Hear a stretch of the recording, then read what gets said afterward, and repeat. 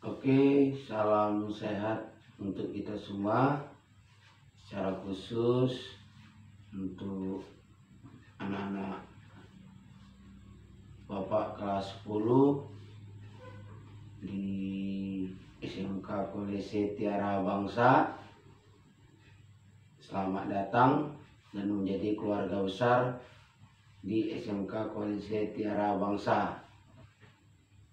Pada video Bapak kali ini materi Bapak mata pelajaran sejarah Indonesia ya.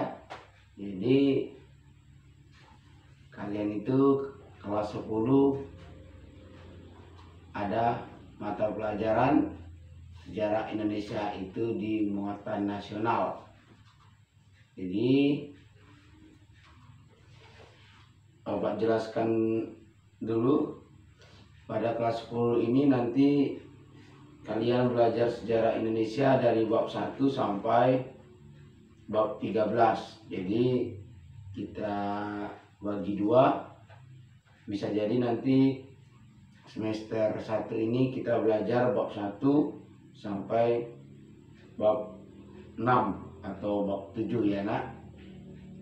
Di hmm, meskipun di masa-masa pandemi ini ya kita tetap selalu harus belajar ya. Belajar itu tidak mengenal tempat ya dan waktu. Jadi kapan pun asal ada kita niat ya kita harus selalu belajar ya. Oke langsung saja. Juga untuk hmm, siswa-siswa anak SMK yang kelas 10 ini materinya. Semoga materi yang Bapak sampaikan ini bermanfaat untuk kita semua ya oke bab pertama itu kita akan belajar tentang konsep dasar sejarah ya Nah, jadi dalam bab pertama ini ada beberapa hal yang akan kita pelajarin. Yang pertama, pengertian sejarah itu sendiri. Yang kedua, konsep manusia, ruang dan waktu dalam sejarah atau unsur sejarah. Yang ketiga, cara berpikir kronologis, diakronik, sinkronik. Yang terakhir itu konsep perubahan dan keberlanjutan dalam sejarah. Ya, nak? Hmm. Adapun tujuan kita belajar konsep dasar sejarah ini, Bapak kasih tahu dulu tujuannya. Yang pertama nanti kalian jadi memahami pengertian sejarah. Yang kedua, memahami cara berpikir kronologis, diakronik, sinkronik dalam mempelajari sejarah. Yang tiga, memahami konsep perubahan dan keberlanjutan dalam sejarah. Nah, itulah tujuan pembelajaran pada materi bab satu kita yaitu konsep dasar sejarah. Oke, bicara yang pertama kita masuk ke pengertian sejarah. Jadi bicara tentang sejarah, jadi kalian harus tahu dulu pengertian sejarah, nah ya. Kalau secara etimologis, sejarah itu berasal dari bahasa Arab yaitu sajaratun yang berarti pohon, ya nah ya. Pohon kemudian ini dihubungkan dengan skema dari silsilah keluarga dan dari dinasti tertentu. Oke, sajaratun itu adalah serapan dari bahasa Melayu dan berubah menjadi arti sejarah. Nah.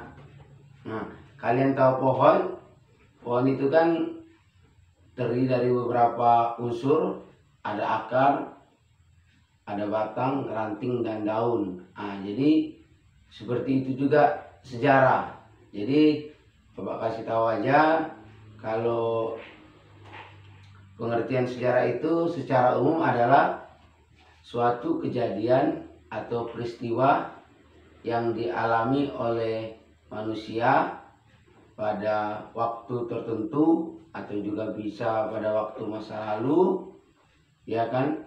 Dan peristiwa tersebut benar-benar ter terjadi. Nah itulah yang dimaksud dengan sejarah sejarah. Jadi sejarah itu ilmu pengetahuan nah jadi ilmu pengetahuan yang mempelajari peristiwa atau kejadian-kejadian yang dialami oleh manusia pada kehidupan masa lalu pada waktu dan tempatnya harus ada.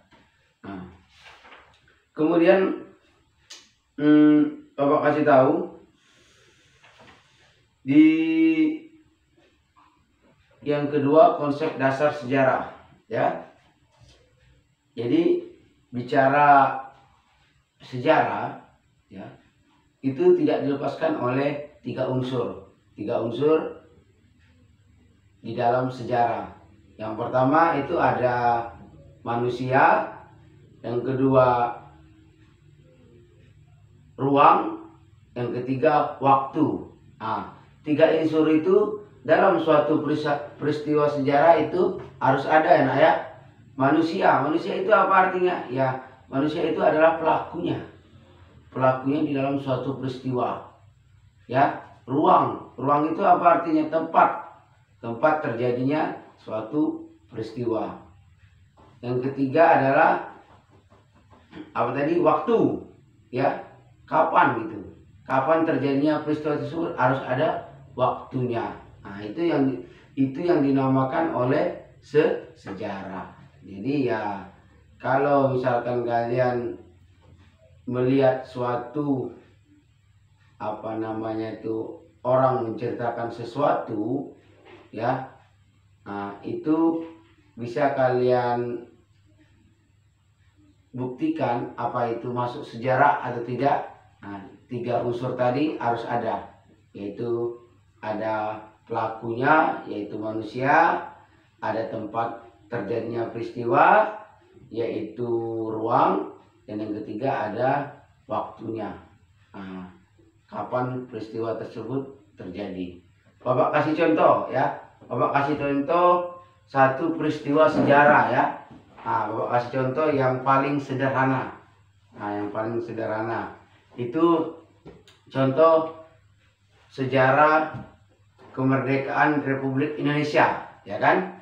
Nah jadi kemerdekaan Republik Indonesia ini kan di diklarasikan atau diproklamasikan oleh pelakunya itu oleh Soekarno Hatta yang membacakan teks itu Soekarno di Jakarta tempatnya di Jakarta. Waktunya kapan? Ya waktunya itu pada tepatnya pada tanggal 17 Agustus 1945 waktu pun jamnya pun ada ya kan? Nah gitu. Jadi Bapak kasih contoh satu adalah peristiwa kemerdekaan Republik Indonesia yaitu yang terjadi pada 17 Agustus 1945. Pelakunya adalah yang memproklamasikan itu adalah Soekarno yang membacakan teks proklamasi dan disaksikan oleh banyak orang ya kan. Kemudian tempatnya di Jakarta. Satu lagi tadi yang seperti aku sampaikan waktunya adalah yang tadi pada tanggal 17 Agustus 1945 itu adalah salah satu contoh yang namanya satu peristiwa sejarah nah itu. Ini sampai kapan pun ya kan? Ya meskipun nanti Indonesia tahun 2045 satu abad tetap aja yang namanya kita merdeka itu pada tanggal 17 Agustus 1945 oke? Yang kedua kita masuk cara berpikir cara berpikir kronologis dalam mempelajari, mempelajari suatu sejarah ya kronologis ini berasal dari kata Yunani yang berarti Kronos. Kronos dan Logos. kronos itu berarti waktu dan logos itu berarti ilmu. Jadi kalau kita gabungkan jadi kronologi adalah ilmu tentang waktu yang membantu untuk menyusun peristiwa atau kejadian sejarah sesuai urutan waktu terjadinya. Jadi kronologi itu adalah ilmu tentang waktu ya yang menyusun suatu peristiwa sejarah sesuai urutan waktu terjadinya.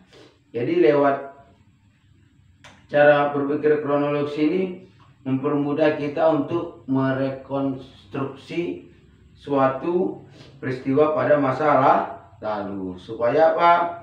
Supaya tidak terjadi kesalahan ya. Supaya tidak terjadi kesalahan. Hmm. contohnya ya pada waktu kita ambil contoh yang paling sederhana aja. Contohnya ya pada waktu Jepang menjatuhkan bom di Nagasaki dan Hiroshima pada tahun 1945 itu kita sesuaikan dengan bisa kita pelajari dengan cara berpikir krono kronologis. Kemudian yang D, cara berpikir diakronik ya dalam mempelajari suatu se sejarah. Diakronik ini berasal dari bahasa Yunani yaitu dia dan kronos. Dia itu mempunyai arti melintas dan kronos itu artinya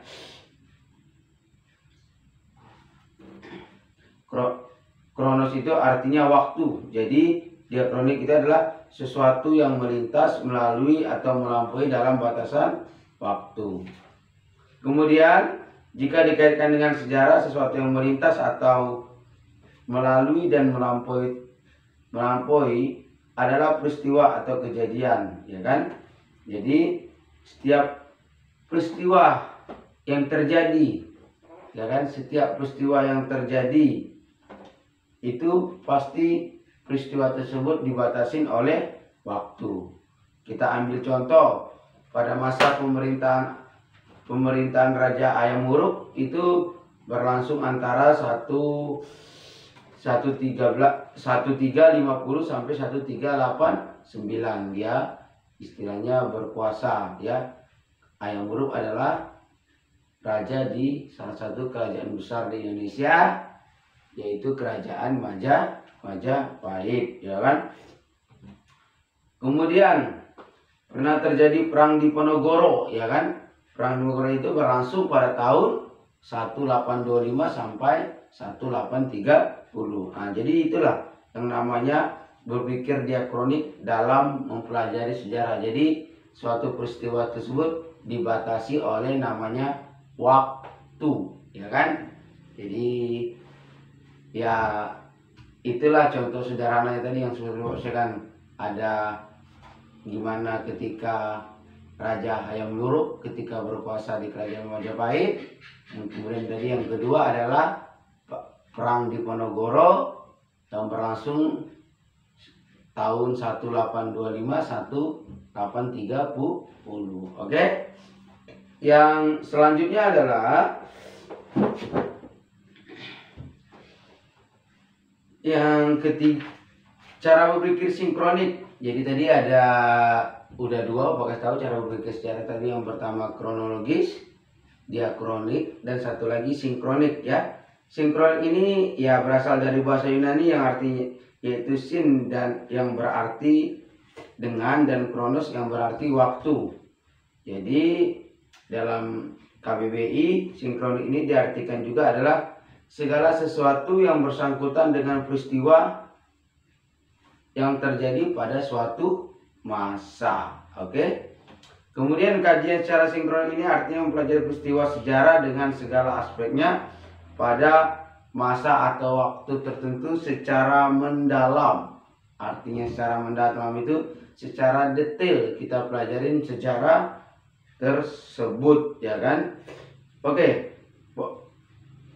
Ciri-cirinya yang pertama itu mengkaji peristiwa sejarah pada masa tertentu, menitik keratkan peristiwa dan pola-pola gejala dan karakter, dia bersifat horizontal, tidak ada konsep perbandingan, cakupannya itu harus lebih sempit, ya kan? Kajiannya sistematis dan sifat kajiannya mendalam. Jadi dalam berpikir sinkronik ini adalah kajian yang lebih menitik beratkan pada penelitian gejala-gejala yang meluas sebuah peristiwa tetapi dengan waktu yang ter terbatas.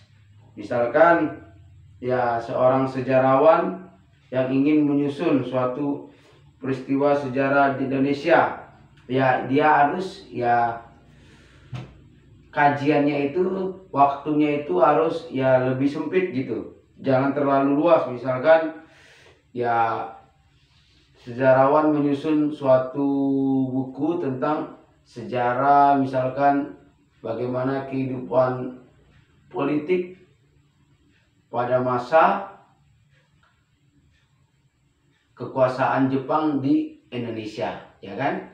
Jepang kan berkuasa di Indonesia itu lebih kurang ya tiga tahun ya tahun 1942 1 sampai 1945 jadi kajiannya itu lebih sempit. Nah, sehingga apa yang akan sejarah sejarawan itu apa namanya tulis, nah, itu nanti dia bisa menulisnya sangat detail dan sangat rapi gitu. Artinya dia menyusun, menyusun tulisannya tersebut ya setelah dia melakukan ya secara apa namanya meluru meneliti ah gitu. Jangan apa namanya itu terlalu luas yang diteliti. Misalkan dia ingin membuat tulisan tentang kehidupan politik ya kehidupan politik aja. Misalkan dia berbicara tentang bagaimana perekonomian pada masa Jepang di Indonesia ya perekonomian saja jadi itu namanya cara berpikir sinkronik dalam mempelajari sejarah. Oke, yang terakhir adalah konsep konsep perubahan dalam keberlanjutan dalam sejarah. Nah, jadi sejarah bukanlah sekedar catatan panjang dari peristiwa-peristiwa yang terjadi dalam kehidupan manusia di dunia, ya nak. Jadi catatan peristiwa masa lalu tersebut menunjukkan perubahan dan keberlanjutan dalam sejarah manusia. Perubahan itu dapat terjadi secara cepat atau lambat. Contoh perubahan yang terjadi secara cepat adalah peristiwa pengumuman kota Hiroshima dan Nagasaki pada tanggal 6 dan 9 6 dan 9 Agustus 1945 itu ya kejadian tersebut langsung membuat bangsa atau negara Jepang ya menyerah gitu kepada sekutu ya kan? Kemudian dengan menyerahnya Jepang kepada sekutu ya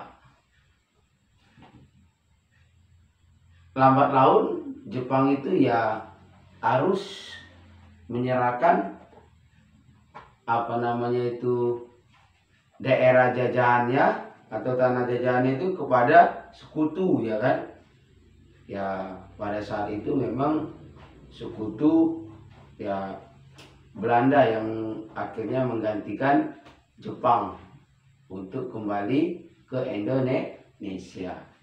Oke, nah ya, karena materi bab satu ini kita nggak terlalu banyak, jadi yang Bapak sampaikan tadi ya kita nanti cuman 6 atau 7 bab aja di semester satu ini. Jadi ini adalah dasarnya kita untuk mempelajari bab-bab berikutnya. Jadi judul ini adalah konsep dasar sejarah. Jadi tugas untuk anak-anak Bapak ya, tugas untuk anak-anak Bapak nanti kalian kirimkan tugasnya lewat classroom yang sudah Bapak buat ya kan.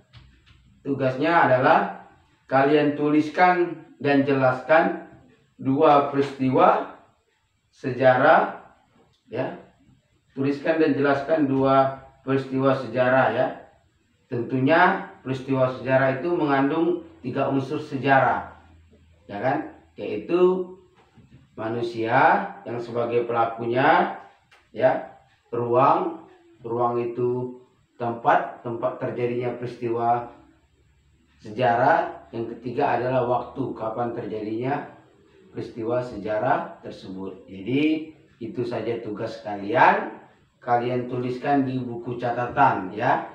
Jangan lupa ditulis nama, kelas, mata pelajaran, hari dan tanggal dan materi bab 1 ya. Oke nak itu aja untuk materi Bapak pada bab 1 ini yang berjudul konsep dasar sejarah kalian Bapak pesan untuk tetap jaga kesehatan dan berdoa agar pandemi ini cepat berakhir dan kita boleh lagi bersama-sama belajar di sekolah ya. Tetap semangat dan majulah anak SMK di Indonesia.